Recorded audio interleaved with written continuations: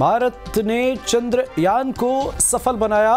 भारत ने रचा इतिहास, चंद्रयान थ्री ने चंद्रमा की सतह पर सफलतापूर्वक किया लैंडिंग इसरो ने विश्व में देश का नाम किया रोशन, चंद्रमा के दक्षिणी ध्रुव पर उतरने वाला भारत बना पहला देश। चंद्रयान थ्री की सफल लैंडिंग के बाद पीएम मोदी ने जोहान्सबर्ग से लहराया तिरंगा। देशवासियों को दी बधाई, कहा यह पल अविश्वसनीय। सफल लैंडिंग पर बोले पीएम मोदी, कहा यह समय जीत के चक्रपथ पर चलने का है। बोले, अब बच्चे कहेंगे, चंदा मामा टूर के हैं।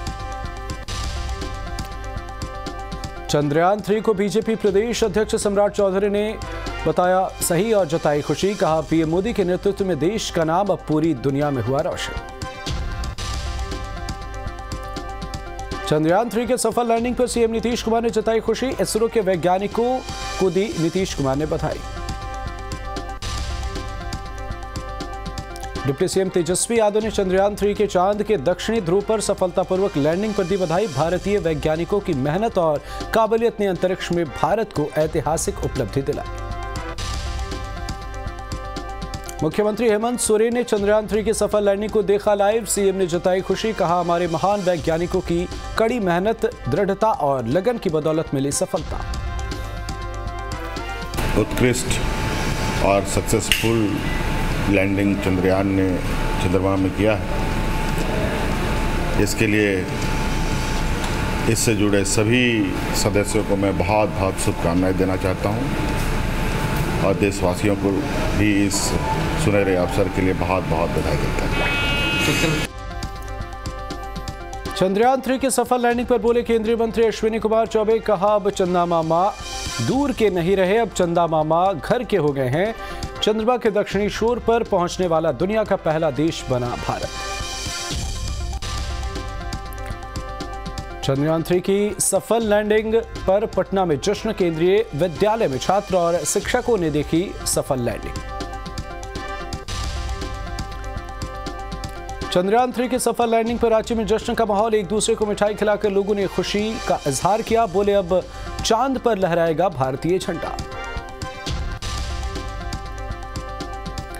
चंद्रयान थ्री के सफल लैंडिंग पर धनबाद के रणधीर वर्मा चौक पर होली और दिवाली जैसा माहौल, आतशबाजी और मिठाई खिलाकर लोगों ने जताई खुशी।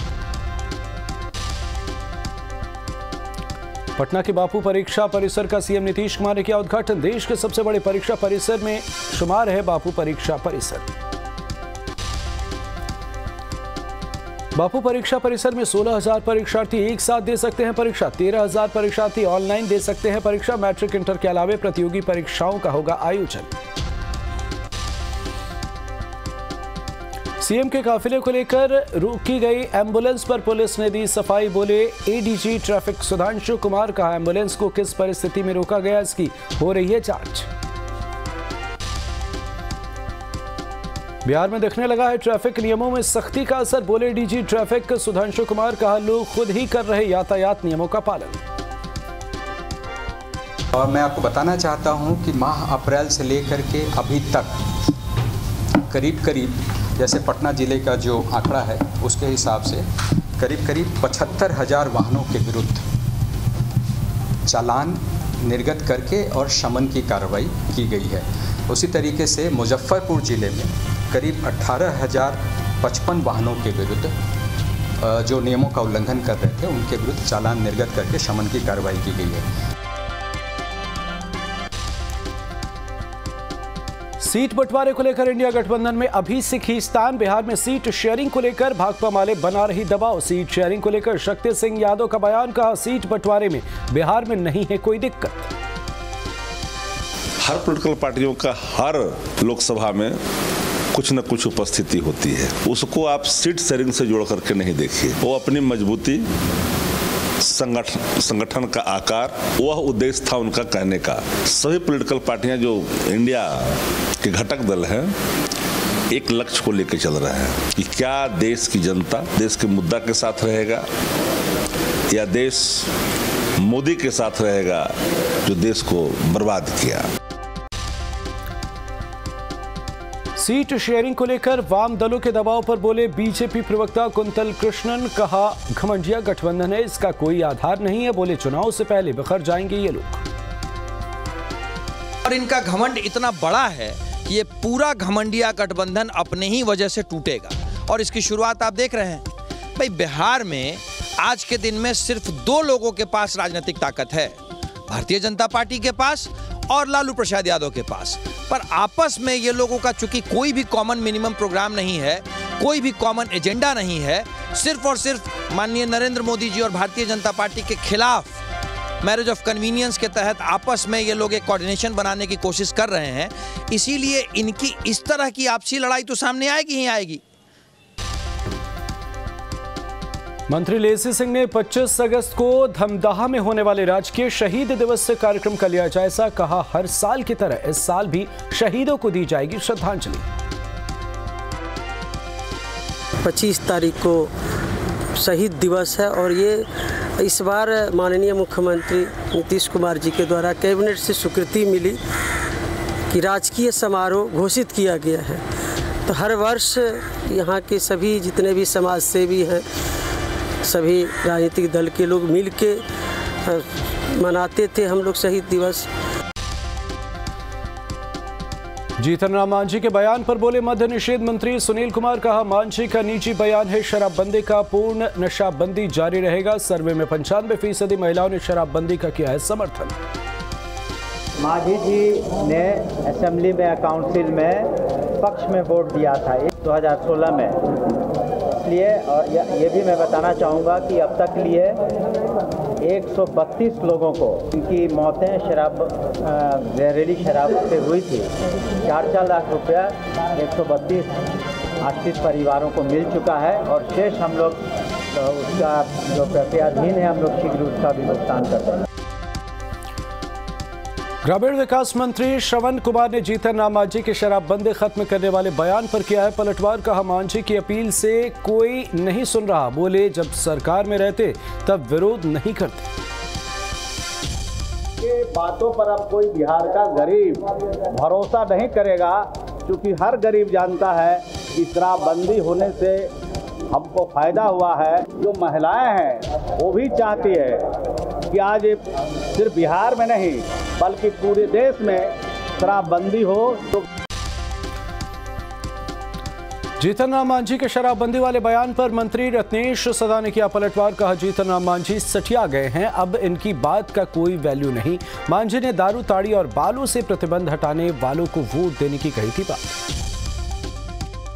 वो सठिया गए सठिया इसलिए गया है कि उम्र तो अस्सी सत्तर पचहत्तर अस्सी हो गया है। उन्होंने थी सोलह में कसम खाए थे।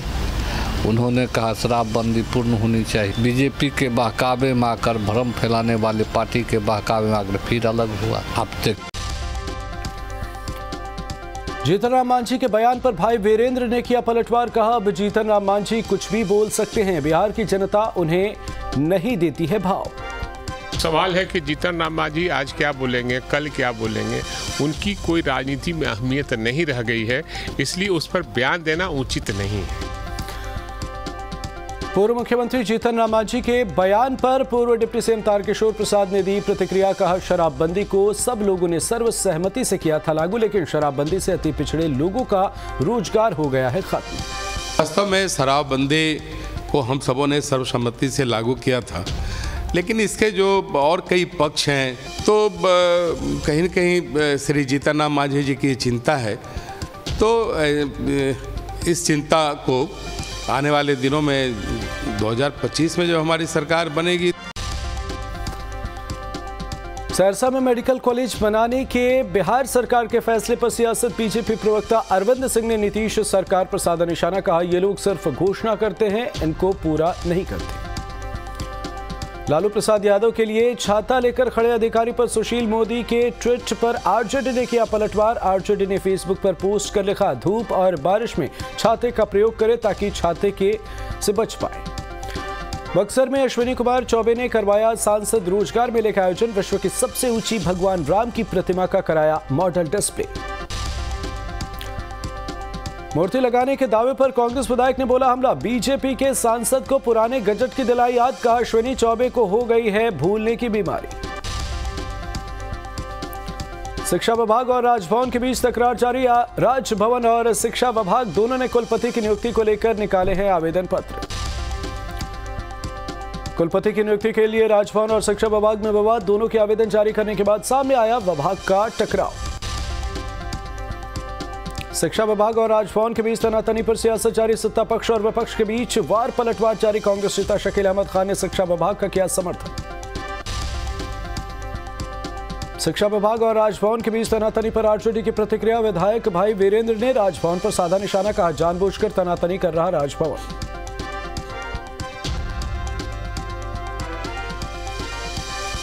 को परंपरा ऐसी निभाया जा रहा था लेकिन वहाँ के लिए था जहाँ राज्य सरकार और राजभवन दोनों मिलकर सहमति से करते थे। वहाँ मनमानी तरीके से हो रहा है। इसलिए राज्य सरकार अगर फैसला ली है, ये भूसी का नियुक्ति करे, ये बहुत काबिल तारीफ़ है। राजभवन और शिक्षा विभाग के विवाद पर बीजेपी ने बोला हमला, बोले बीजेपी प्रवक्ता कुंतल कृष्ण कहा राज्य सरकार का नियुक्ति के लिए निकाला गया विज्ञापन गलत।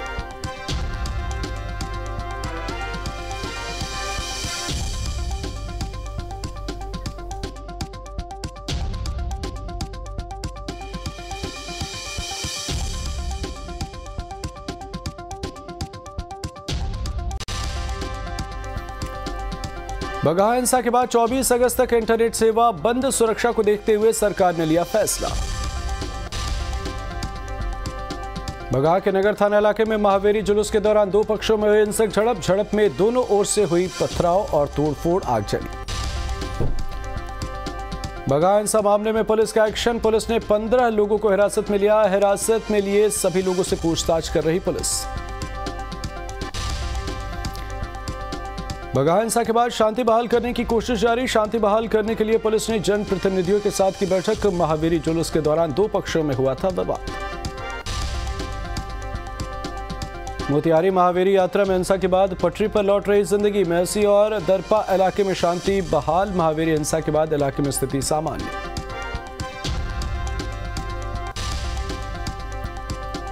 महावीर हिंसा के बाद अब घर से बाहर निकलने लगे लोग। शहर के बाजारों में खोली गई दुकानें, ज़रूरी सामानों की खरीद के लिए घर से बाहर निकल रहे हैं लोग।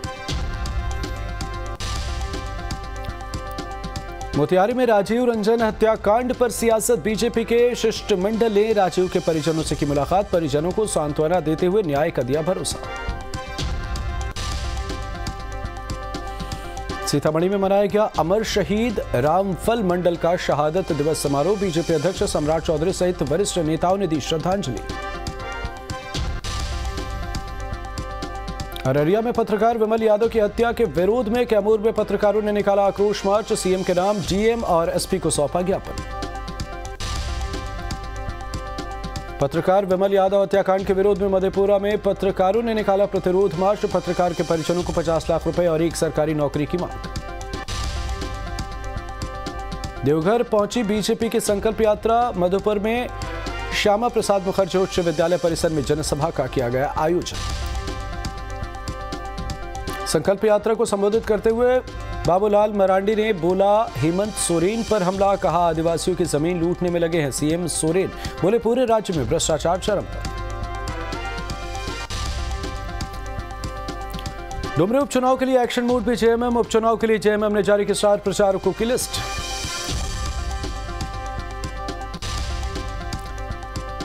जेएमएम के स्टार प्रचारकों के लिस्ट में JMM supremo Shibu Soren CM Hemant Soren का नाम। जेएमएम प्रत्याशी के पक्ष में प्रचार करेंगे दोनों। कांग्रेस से अविनाश पांडे समेत 36 नेताओं को बनाया गया स्टार प्रचारक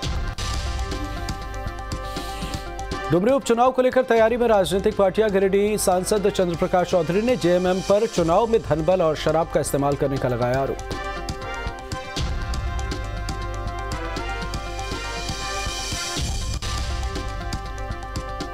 सांसद चंद्र प्रकाश चौधरी के बयान पर जेएमएम ने किया पलटवार। जेएमएम प्रवक्ता विनोद पांडे ने सांसद चंद्र प्रकाश चौधरी पर साधा निशाना।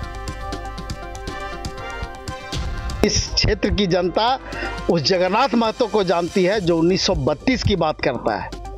जिस व्यक्ति ने 1932 के आंदोलन में C N T S P act के आंदोलन में अपनी कुर्बानी दी हो, उसको क्षेत्र की जनता, राज्य की जनता नहीं भूल सकती।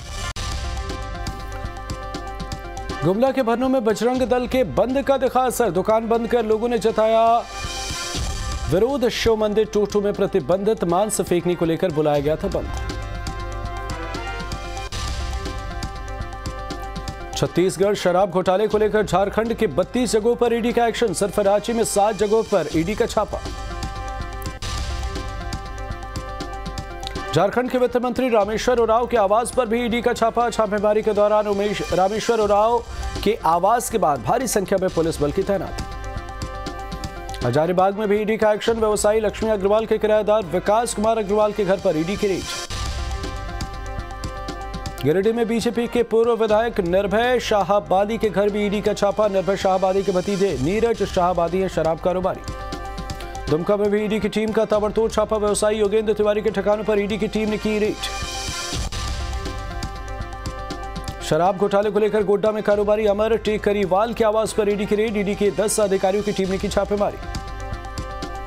देवघर में भी कई ठिकानों पर रेड करने पहुँची ईडी की टीम। शराब कारोबारी योगेंद्र तिवारी और उनके सहयोगियों के ठिकानों पर रेड।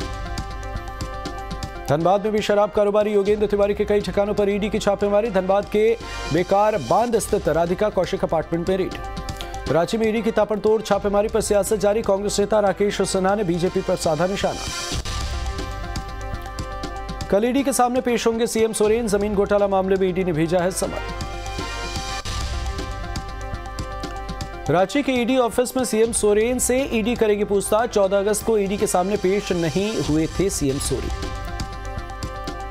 ज़मीन घोटाला मामले में एक्शन में ईडी, पूर्व आईएएस छवि रंजन पर लगे आरोपों की होगी जाँच पड़ताल। पूर्व आईएएस छवि रंजन का गलत तरीके से दो एकड़ से ज़्यादा ज़मीन कब्जा करने का आरोप, सीओ और पुलिस भेजकर कब्जा करने के आरोप। पटना सिटी में गांधी सेतु पुल से एक शख्स ने गंगा नदी में लगाई छलांग। टीम कर रही जाँच। कटिहार के खनका मोहल्ले में तालाब में दो क्विंटल मछलियों की मौत, कुछ लोगों पर तालाब में जहर डालने के आरोप। जहानाबाद के सरकारी कार्यालय में कर्मचारी को पिस्टल दिखाकर धमकाने वाला गिरफ़्तार, आरोपी से पिस्टल भी बरामद। जमुई में मानसिक रूप से बीमार बेटे ने की पिता की हत्या, पत्थर से कूच कूच कर उतारा मौत के घाट। बोकारो में आवासीय बिजली गिरने से एक युवक की मौत, बाइक से जाने के दौरान हुआ हादसा। गोपालगंज के कटिया में कौशल विकास केंद्र में हुई चोरी के लैपटॉप का पुलिस ने किया खुलासा। 21 लैपटॉप के साथ चार शातिर चोर गिरफ़्तार। साहिबगंज में जनरल स्टोर में चोरी करते हुए नाबालिग को लोगों ने पकड़ा, बिजली के खंभे से बाँध कर की पिटाई। पटना ए बीजेपी नेता नीलेश मुखिया के दिल्ली में इलाज के दौरान मौत 31 जुलाई को अपराधियों ने मारी थी आठ गोलियाँ। बेतिया में नरकटियागंज में नाबालिग से रेप की कोशिश, पीड़िता ने एसपी और एसडीपीओ से लगाई न्याय की गुहार। लखीसराय में अपराधियों के खिलाफ पुलिस सख्त, पुलिस ने 46 फरार, मोस्ट वांटेड बदमाशों की सूची जारी। पटना में बदमाशों के हौसले बुलंद बाइक सवार बदमाशों ने दो युवकों को मारी गोली। दोनों घायलों का पीएमसीएच में चल रहा इलाज। रामगढ़ में चोरी के आरोप में एक व्यक्ति की पीट पीट कर हत्या। ग्रामीणों ने उतारा मौत के घाट। पुलिस कर रही जाँच। जमुई में मामूली विवाद को लेकर भतीजे ने चाचा की गला रेत कर की हत्या। ग्रामीणों ने पुलिस को दी जानकारी।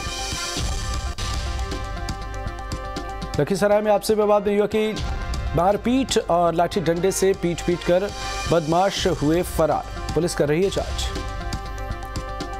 मुंगेर पुलिस ने ट्रांसपोर्टर रामचंद्र यादव हत्या मामले का किया खुलासा। पुलिस ने बताया, आपसी वर्चस्व को लेकर की गई हत्या। मुंगेर में ट्रांसपोर्टर की हत्या को लेकर पुलिस ने की बड़ी कार्रवाई। हत्या में शामिल सात आरोपियों को पुलिस ने किया गिरफ़्तार। मुंगेर में आईटीसी फैक्ट्री के पास हुई थी ट्रांसपोर्टर की हत्या। गिरफ़्तार अपराधियों के पास से दो पिस्टल दो कट्टा सहित कई कारतूस बरामद। पूर्णिया में एक महिला कांस्टेबल ने की आत्महत्या। महिला कांस्टेबल नीतू राय ने घर में लगाई फांसी। सत्रह तारीख से ही ड्यूटी पर नहीं आ रही थी महिला कांस्टेबल। आत्महत्या की सूचना के बाद मौके पर पहुँची पुलिस। सुपौल के करीहो जमुआ टोला में कार से मिला शख्स का शव। लावारिस शव से सनसनी इलाके में पुलिस कर रही है जाँच। समस्तीपुर के ऊदा पट्टी में चोर को स्थानीय लोगों ने पकड़ा। लोगों को देखकर मौके से फरार हुए तीन चोर। पुलिस पहुँची जाँच कर। पूर्णिया के दमदाह में चोरों ने सरकारी स्कूल को बनाया निशाना। स्कूल का ताला तोड़कर चोरी की घटना को दिया अंजाम। जहानाबाद में पति पत्नी का हाई वोल्टेज ड्रामा चार साल बाद विदेश से लौटने के बाद पति पत्नी को घर में रखने से कर रहा इनकार। पति पत्नी के हाई वोल्टेज ड्रामे की सूचना के बाद मौके पर पहुँचे पुलिस। पुलिस के आने के बाद पति अपने दोस्तों के साथ फरार। पटना में शराबी युवक का high voltage drama Jayprakash Nagar में शराबी ने मचाया उत्पाद कटिहार के कोढ़ा थाना इलाके में रफ्तार का कहर डुम्मर पुल के पास टैंकर की चपेट में आने से तीन बाइक सवार घायल। बेतिया में रफ्तार का कहर सोनू वरिया पंचायत के बाबू टोला के करीब बेकाबू ट्रक ने बीए की छात्रा को कुचला। मुजफ्फरपुर नगर निगम की खुली पोल समाहरणालय गेट पर पलटा पानी का टैंकर टैंकर पर लेटने से लगा जाम अररिया, फारबिसगंज सड़क पर हादसा, बेकाबू कार ने खड़े ट्रक में मारी टक्कर 12 से ज़्यादा लोग घायल। बेगूसराय में दर्दनाक सड़क हादसे में बीजेपी नेता की मौत, तेज रफ्तार पिकअप वैन ने बीजेपी नेता को कुचला। जमुई में पेड़ से टकराई कांवरियों से भारी कार देवघर से पूजा कर मुजफ्फरपुर लौट रहे थे कांवड़िए अररिया के फारबिसगंज में तेज रफ्तार कार ने खड़े ट्रक में मारी टक्कर, हादसे में कार सवार एक दर्जन से अधिक लोग घायल। हाजीपुर में आकाशीय बिजली गिरने से झोपड़ी में लगी आग आग लगने से झोपड़ी में सो रहे पति पत्नी की मौत। सुपौल सदर अस्पताल में एएनएम छात्राओं ने किया कार्यशाला का आयोजन, प्रसव के दौरान बरती जाने वाली सावधानियों को दी गई जानकारी। बेगूसराय में दर्दनाक सड़क हादसे में बीजेपी नेता की मौत। तेज रफ्तार पिकअप वैन ने बीजेपी नेता को कुचला। जमुई में पेड़ से टकराई कांवड़ी से भरी कार। देवघर से पूजा कर मुजफ्फरपुर लौट रहे थे कांवड़ी। अररिया के फारबिसगंज में तेज रफ्तार कार ने खड़े ट्रक में मारी टक्कर। हादसे में कार सवार कई लोग घायल। हाजीपुर में आकाशीय बिजली गिरने से झोपड़ी में लगी आग। आग लगने से झोपड़ी में सो रहे पति पत्नी की मौत।